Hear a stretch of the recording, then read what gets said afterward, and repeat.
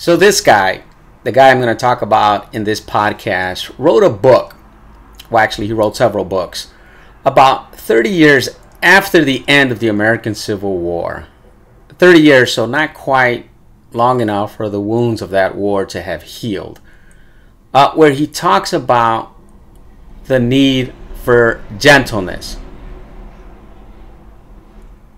That's right. Picture, uh, say, a mom rubbing the back of a napping child. That kind of gentleness. He wrote in his book, This world needs nothing more than it needs gentleness. Now, I find this fascinating because he wrote this after having lived through the war, and 30 years later, he's talking about gentleness. Let's talk about James Miller, James Russell Miller, J.R. Miller, who I spoke about, uh, I think, about two podcasts ago when I talk about his uh, writings during the Civil War, what he thought the impact of, of the war was on Christianity. Uh, James R. Miller, I should say, because it, it is uh, around the Civil War time, I want to make, make it clear up front in the beginning of this podcast that he was once, he was uh, totally against slavery. He said, in fact, a couple of quotes from him When the bloodshed of war has ended, the suffering will still go on until every trace of slavery shall be wiped out. The suffering will go on he said God will settle the question in his own way. But he also says human slavery is a clog to all kinds of progress in a state, to the progress of Christianity, as well as the arts and sciences, wealth, and internal improvements. When this barrier is removed, then educate, education and religion will be advanced, and the social and moral darkness of slavery will be dispelled. So, uh, this book that he writes about on gentleness really has nothing to do with the Civil War. Now, as some historians have noted, he would often use uh, references back to the Civil War that he remembered and used them as sermon illustrations. In fact, during the Civil War, he filled two notebooks with his Civil War impressions and experiences and then later in the future, as I mentioned, he would turn to these notebooks and uh, use some of the things he wrote for illustrations. Uh, James R. Miller was a Christian, and he served in the uh, group of about a, a, couple thousand who were volunteers, non military, providing humanitarian aid. And in his particular case, since he would become a, a, a preacher, he would also spread the gospel. Like I said the book is not about uh, the Civil War, but he does include uh, in the beginning of the book a quick story about how some of the uh, sort of nurses provided help to some of the uh, to both armies. She says this: the battle was over.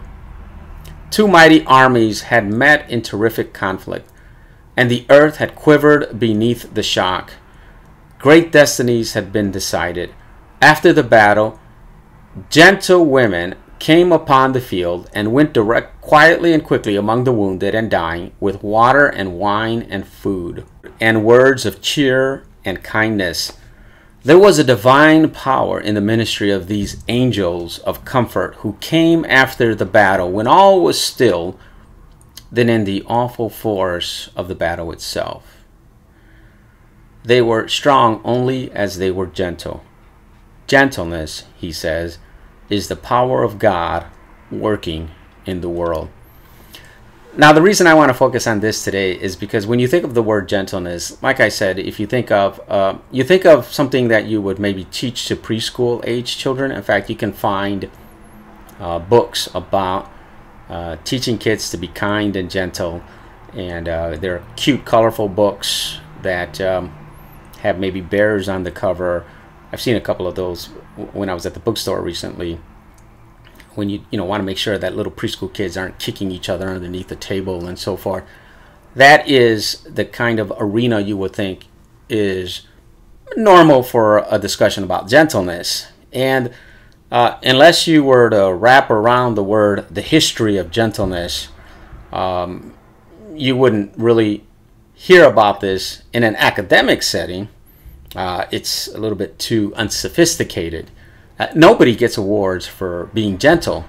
So that's actually one of the things that intrigued me about this book, and also given the fact that it was written by someone who had experienced the Civil War, and this is 30 years out. So you ask yourself, what is somebody thinking who has uh, seen the, the devastation of the Civil War?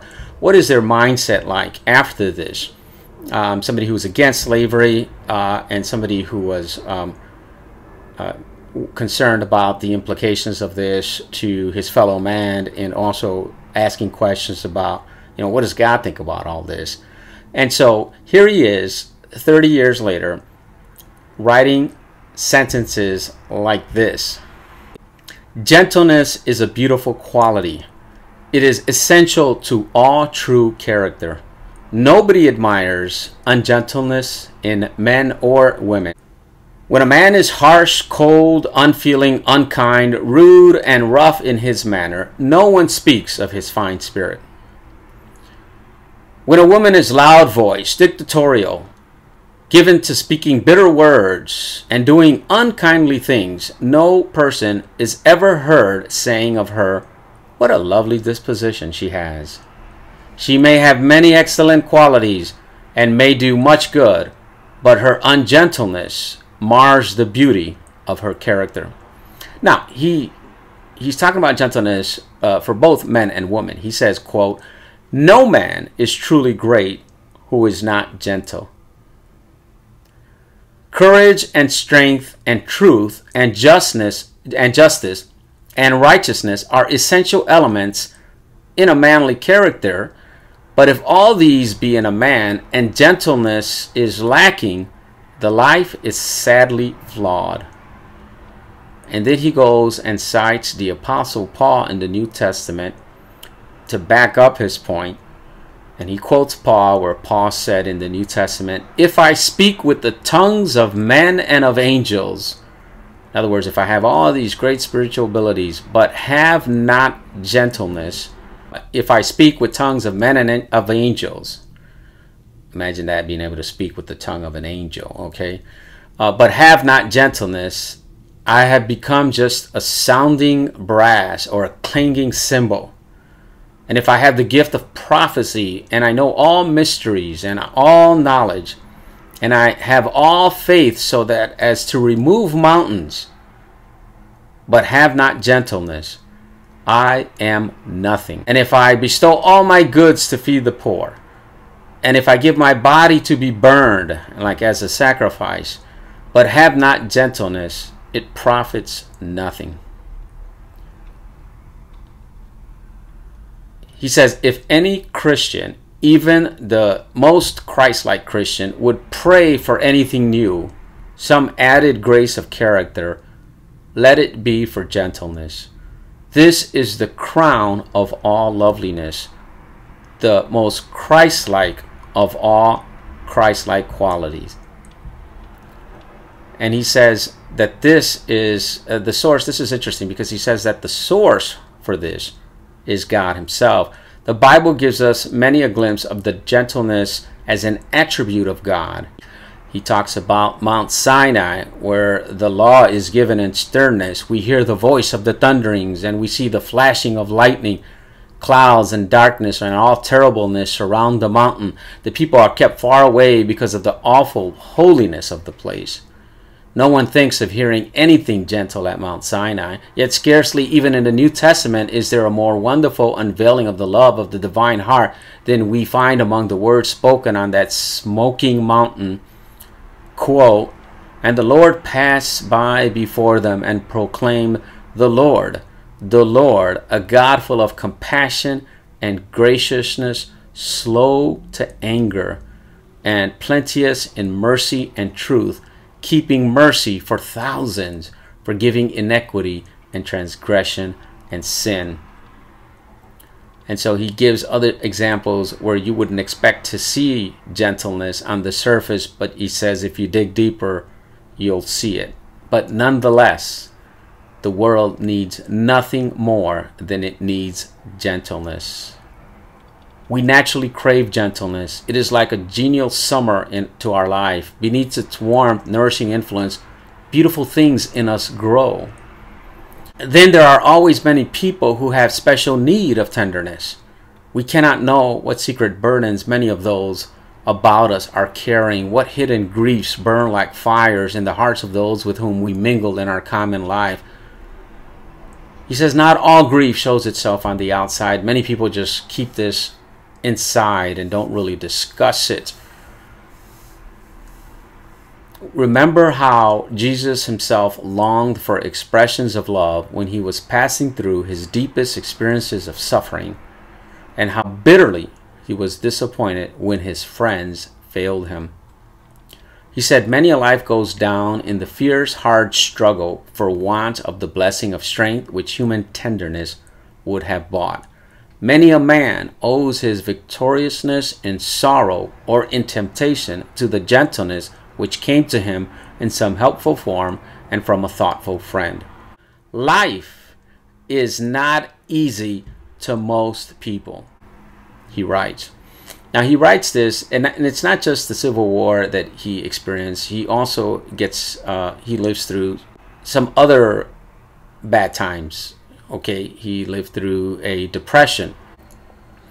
And uh, so there's a lot that he has seen. And yet uh, i remember there was a quote that says uh, sometimes things happen in our lives that will either make us hard uh, like just rough or it will soften our hearts and make us compassionate towards others so I think it's safe to say when you read uh, his writing here that he was the latter category where the experiences that he had in life, and particularly some of the most turbulent periods of uh, American history, uh, he was better off for it. Um, but he goes on to say, life is not easy to most people. Its duties are hard. Its burdens are heavy. Its strain never relaxes. There is no truce in its battle. This world is not friendly to noble living. So, isn't that true? If you are trying to live out like this, to try to be a gentle person, just think about how, how um, everything is against you, either when you're in traffic, when you're at the mall, especially at this time of year when everybody's doing their shopping and everybody's got that so so everybody's so happy to be out there aren't they they're just going out there and they're just uh, um, I mean, I remember recently saying, uh, seeing just in a parking lot how unhappy and, and honking of horns and impatient people were. So it is uh, clearly not too hard to see that, in fact, this world is not friendly to noble living, to trying to live a different way. He says there are countless antagonisms. And there's a reference again to a war. Imagine, picture a battle where you're going through all these lines of enemies and that's what he describes life as. The end goal when you die, but you have to go through all of these uh, lines with strong enemies before you get to heaven. Human help is not always ready when it would be welcomed. Too often men find indifferences or opposition where they ought to find love. Life's rivalries and competitions are sharp and oftentimes deadly. And wouldn't he know that? He says, We can never go wrong showing gentleness. There is no day when it will be untimely. There is no place where it will not find welcome. It will harm no one, and it may save some from despair. The touch of a child on a woman's hand saved a life from self destruction. He says, even in Jesus' time, the world was full of cruelty. The rich oppressed the poor, the strong crushed the weak, women were slaves, and men were tyrants. There was no hand of love reached out to help the sick, the lame, the blind, the old, the deformed, the insane, nor any to care for the widow, the orphan, the homeless. Then Jesus came, and for three and thirty years he went about among men doing kindly things in reference to uh, Jesus' three and a half year ministry. He had a gentle heart, and gentleness flowed out in his speech. He spoke words which throbbed with tenderness. There was never any uncertainty about the heartbeat in the words which fell from the lips of Jesus. They throbbed with sympathy and tenderness. The people knew always that Jesus was their friend. His life was full of rich helpfulness. No wrong or cruelty ever made him ungentle. He scattered kindness wherever he moved.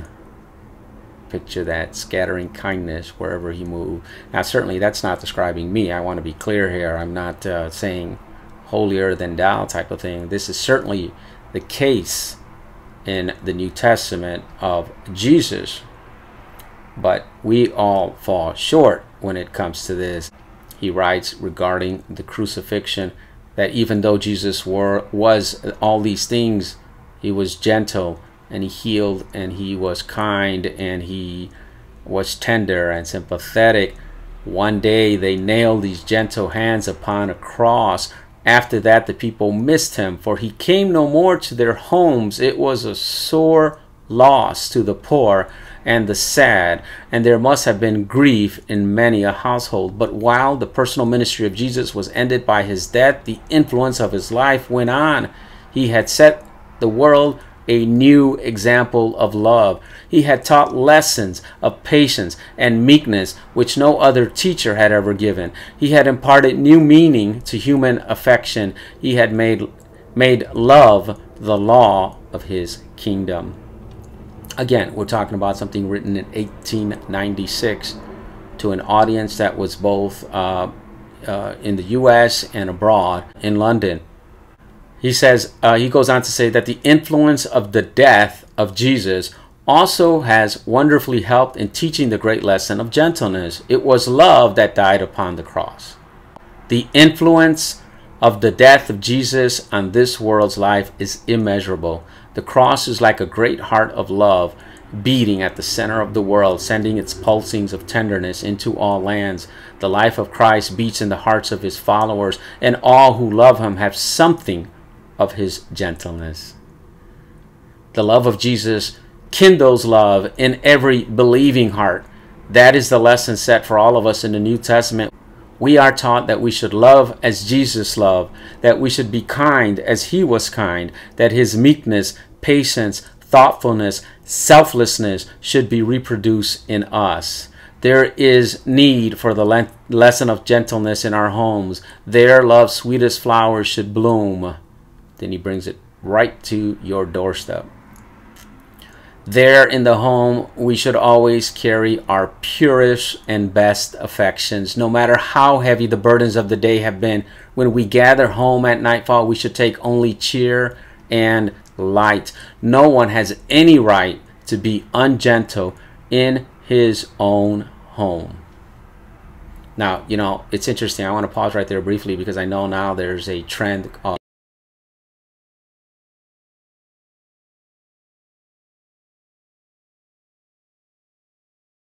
called gentle parenting. I didn't really realize that um, until I started doing research for this particular podcast. Gentle parenting. Now he talks about that as well, as particularly in the home. But I mean, this is gentleness uh, long before gentle parenting uh, became uh, just one of the latest ways to to do parenting.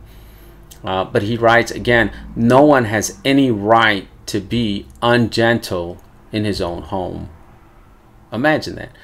If he finds himself in such a mood, he should go to his room till he has vanished, till, till it has vanished, that mood. Um, and mother's life, he said, is not easy, however happy she may be. Her hours are long and her load of care is never laid down. And one day's tasks are finished and she seeks her pillow for rest, she knows that her eyes will open in the morning on another day full as the one that is gone. Children are about her continually tugging at her dress, climbing up on her knee, bringing her, bringing their little hurts and their quarrels, their broken toys, their complaints, their thousand questions to her. And then, with all the cares and toils that are hers, and with all the interruptions and annoyances of the busy day, it's no wonder if sometimes the strain is almost more than she can endure in quiet patience. Nevertheless, we should all try to learn the lesson of gentleness in our homes. It is the lesson that is needed to make the home happiness a little like heaven's. Home is meant to be a place to grow in. It is a school in which we should learn love in all its branches. Think about that. It is a school in which we should learn love in all its branches. It is not a place for selfishness or for self indulgence. It should never be a place where a man can work off his ill humor after trying to keep polite and courteous all day outside. It is not a place for the opening of doors of heart and lips to let ugly tempers fly out like ill omened birds and soar about at will. It is not a place where people can act as they feel, however unchristian their feelings may be, withdrawing the guards of self control, relaxing all restraints, and letting their worst self have sway. Home is a school in which there are great lessons, life lessons to be learned. It is a place of self discipline. We learn to give up our own way, or if we do not, we never can become a true friend. The great business of a true Christian life is to learn to love. He says, It's well that we get this truth clearly before us that life, with all of its experience, is just our chance of learning love. The lesson is set for us Thou shalt love. As I have loved you, Jesus said, you ought to love one another. Our one thing is to master this lesson. We are not in this world to get rich, to gain power, to become learned in the arts and sciences, to build up a great business, or to do large things in any line. We're not here to get along in our daily work in our shops or schools or homes or our farms. We're not here primarily to comfort the sorrow, visit the sick, perform deeds of charity. All these things, any of these things, he says, may be among our duties and they may fill our hands but in all our occupations, the real business of life, that which we always strive to do, the work which must go on in all our experiences, if we grasp life's true meaning at all, is to learn to love and to grow loving in disposition and character. Now, if you've ever uh, watched uh, Leo Buscaglia years ago um, on, uh, he was on television and he'd go around talking about you know, love. Buscaglia, he has a PhD. You know, that sort of makes it respectable that I'm there talking about love. You know, who needs a PhD to love? Mama had a fifth grade education. She was the biggest, most wondrous lover I've ever known. You could Google him if, if you want to watch those videos. They're pretty interesting. Leo Buscaglia. But this, again, 1896. Listen. We may learn the fine arts of life, music, painting, sculpture, poetry, or master the noblest sciences. But if in all this we do not learn to love and become more gentle in spirit and act, we have missed the prize of living. We should be gentle above all to those we love the best, your inner circle. And yet, those who are closest to us, we tend to be more uh, harsh towards than complete strangers. He says, We owe our family special tenderness. Those within our home belong to this sacred inner circle. And much is said about the importance of religion in the home. A home without religion is dreary and unblessed indeed. But we must make sure that our home religion is true and real, that it is the spirit of life and not merely in form. Have you lived in a home where it was just informed? There was no love, it was just talk. It must be love. Love wrought in thought, in word, in disposition, in act. It must show itself not only in patience, forbearance, and self control, and in sweetness under provocation, but also in all gentle thoughtfulness and in little tender ways in all the family discussions. He said no amount of good religious training will ever make up for the will make up for the lack of affection in parents toward children.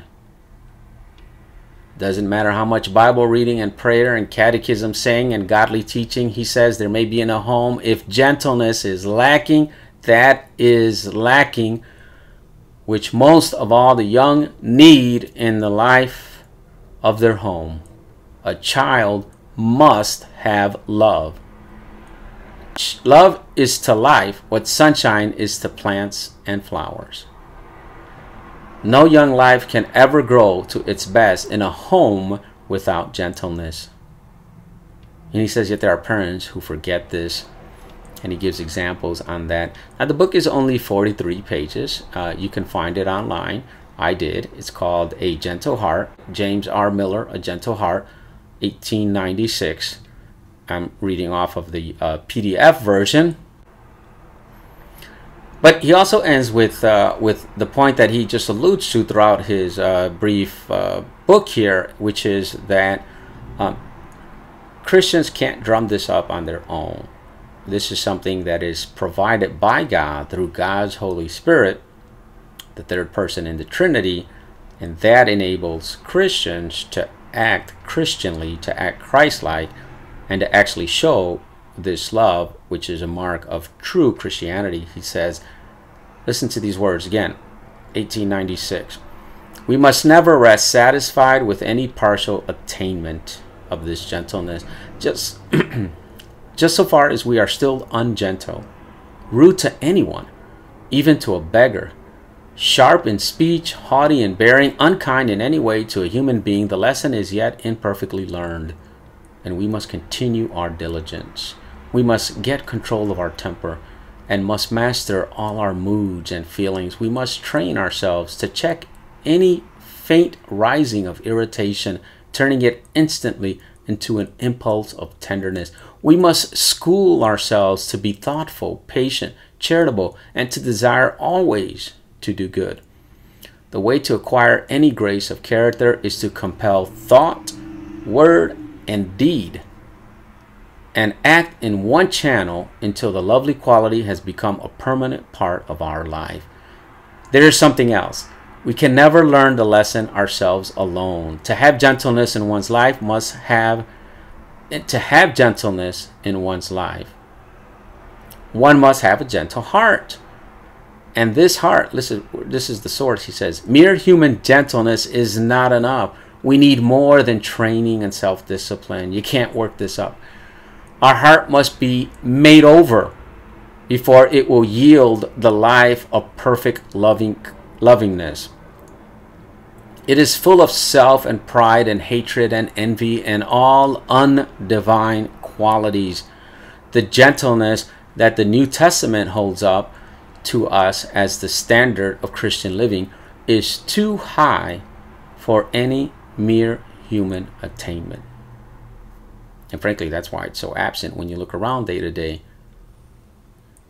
We need that God shall work in us to help us to produce the loveliness that is in the pattern. And this divine co working is promised. Quote, the fruit of the Spirit is gentleness. One of the results of having God's Holy Spirit as a Christian, he, he says, is fruit that is characteristics, attributes of God in you, one of them being gentleness. The Holy Spirit will help us to learn the lesson, working in our heart and life the sweetness of love, the gentleness of disposition, the graciousness of manner, which will please God.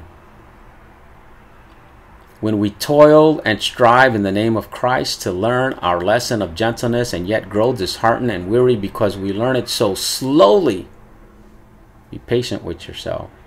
Christ Himself comes and puts on our canvas and touches the beauty and the touches of beauty which our own unskilled hands cannot produce. Let me say that again when we toil and strive in the name of Christ to learn our lesson of gentleness and yet grow disheartened and weary because we learn it so slowly, Christ Himself comes, puts on our canvas the touches of beauty which our own unskilled hands cannot produce. Again, this is from James Miller, who served in the United States Christian uh, United States Christian Commission during the Civil War and he is writing about the need for gentleness to an American audience, still doing what he was doing during the war, which is trying to spread the message of Christianity to an America that and has more more things in common with our time than it does with, say, 1815. The world is still very ungentle despite the teachings of Jesus Christ. Certainly very ungentle despite what James R. Miller tried to do. But hopefully, you found this very interesting. Hopefully, it will prod you to perhaps even look into this further on your own. And uh, in the meantime, don't forget to subscribe so that you can find out when the next podcast is available.